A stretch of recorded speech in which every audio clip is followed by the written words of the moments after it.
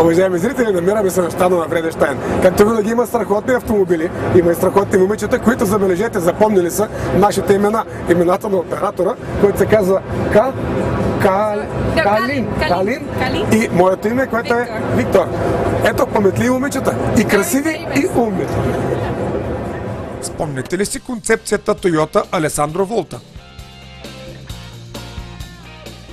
Тази година тя беше отново представена на щанда на Вредештайн, но този път задвижвана от хибридния агрегат на Lexus RX 400H с мощност 265 конски сили.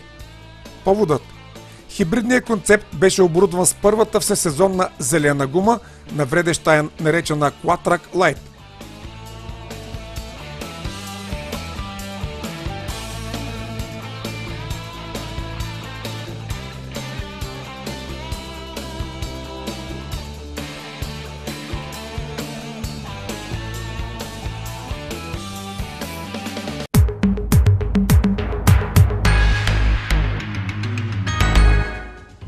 С гумите с ниско съпротивление при търкаляне Quatrack E беше оборудван втория концептуален автомобил, който познаваме от миналогодишния салон в Женева – EMAS 3 City.